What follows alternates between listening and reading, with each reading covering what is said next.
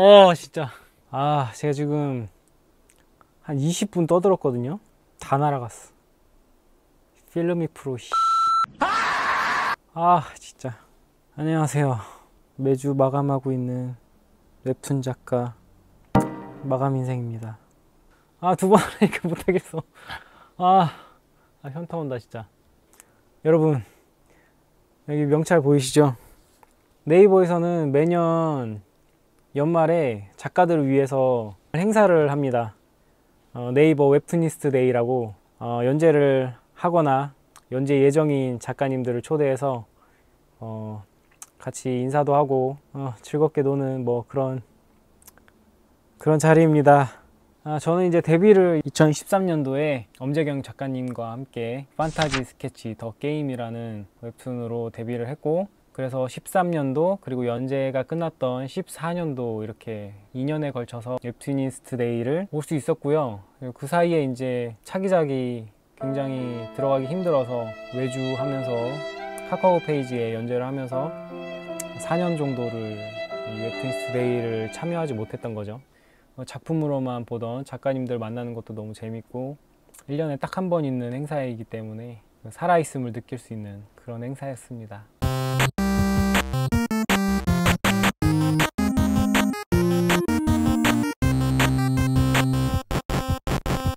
올해는 홍대 무신사 테라스라는 곳에서 했고요. 들어가자마자 이렇게 명찰을 받고서 이제 들어가면은 굉장히 큰 라운지 바 같은 그런 공간에서 어, 약 300명에 달하는 작가님들과 그 네이버 관계자님들, 담당자님들 이렇게 오랜만에 얼굴을 볼 수 있는 재밌는 자리였고요.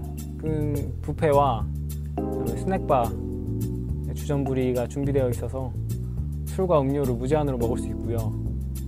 외곽에는 이제 사주를 봐주는 타로 카페와 오락을 할 수 있는 아케이드 존이 있었고 아, 사회는 구 양배추 현 조세호님과 남창희님의 어, 사회로 어, 일부는 약간 서로 이제 작가님들이랑 합심해서 뭔가 할 수 있는 약간 어색한 자리를 약간 풀어주는 그런 게임하고 2부에서는 이제 모두가 기다리던 어, 한해 가장 핫했던 가수들을 초청해서 어, 보는 그런 자리였습니다. 저는 운이 좋게 테이블이 바로 무대 코앞이어서 진짜 숨소리가 들릴 정도로 가까웠고요. 두 팀이 왔는데 한 팀은 이제 SF9이라는 보이그룹이었고요. 한 팀은 이제 AOA가 왔습니다. 사실 남자 그룹에는 관심이 없어요. 이제 AOA가 나왔을 때는 정말 말을 잇지 못할 정도의 충격이었고 사실은 제가 옛날에 데뷔를 준비하던 시기에 이제 너무 이제 수입이 없다 보니까 단역 알바 같은 거를 잠깐 했었는데 그때 그 AOA 뮤직비디오에 출연할 기회가 잠깐 있었거든요. 그 모야라는 노래가 있어요. 그 노래 보면 제가 중간중간 이렇게 헤이 오 헤이 헤이 그 중간중간 진짜 짧게 짧게 한 카트씩 나오거든요. AOA도 막 데뷔해서 얼마 안 된 시절이었고 저 역시도 아무것도 아니던 시절 그랬던 AOA와 제가 이렇게 딱 저는 무대 맨 앞에 앉아 있고 AOA는 이렇게 무대 위에서 이렇게 춤추는 걸 보고 있으니까 하, 정말 그때 옛 친구를 정상에서 만난 그런 느낌? 오, 그러셨어요?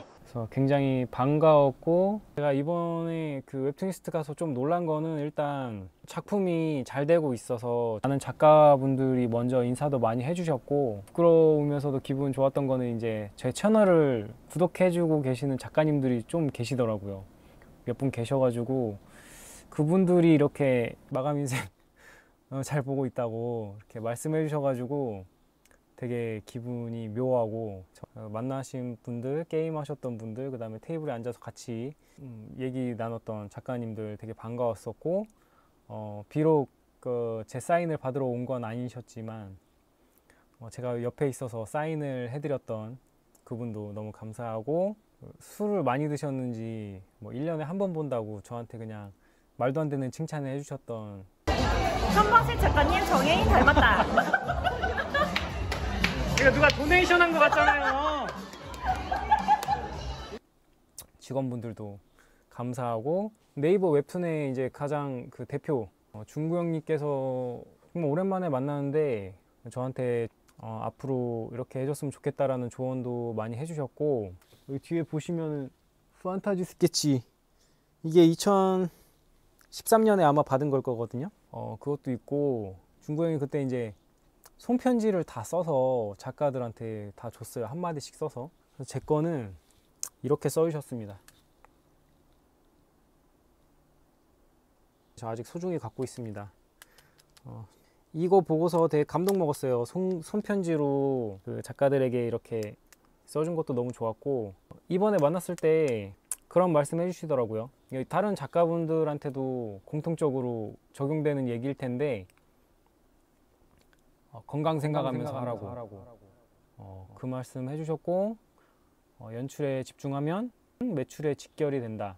그러니까 연출은 그만큼 중요하다는 얘기겠죠. 그림처럼 눈에 보이는 건 아니지만 어쨌든 연출이란 부분이 읽는 독자들에게 굉장히 중요한 부분이고 그런 얘기를 해주셨어요. 그래서 굉장히 와닿았었고 그 외에 다른 오프 더 레코드들이 있었지만 너무 작품을 보고 있다라는 게 느껴졌고 그 공간을 7시까지 대여해 주셨거든요. 그게 이제 예전에 대여했던 공간들이 어, 대여 시간이 딱 끝나고 나서 막 2차, 3차 간다고 막 추운데 헤매고 12월 달에 늘 행사를 하니까 헤매고 이런 게 너무 힘들고 하니까 연말에다가 그래서 아침 7시까지 대관을 해놨다고 하시더라고요. 어, 근데 저는 이제 마감을 해야 해서 눈물을 머금고 돌아올 수밖에 없었습니다.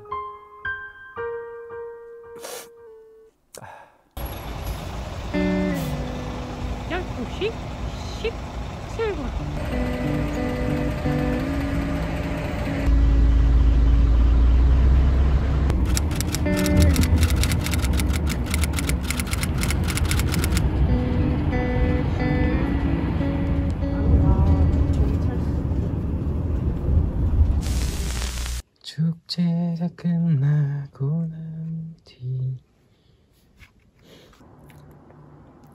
놀고 싶다. 더 놀고 싶어. 그래도 굉장히 평소와 다른 그런 이벤트로 인해서 좋은 에너지를 많이 얻었고 이 힘으로 또 1년을 어, 버티고 내년, 내후년에도 앞으로도 계속 어, 웹툰스 데이에 어, 초대받고 싶습니다. 어, 지금까지 시청해 주셔서 감사하고요. 좋아요와 구독, 알람 설정까지 해주시고요. 어, 저는 마감하는 다음 주에 다시 돌아오도록 하겠습니다. 이경민, 이훈, 이정현, 조민초, 황범식, 최경아, 한일관, 오페 작가님들이십니다. 네. 감사합니다. 잘했어. 고생했어.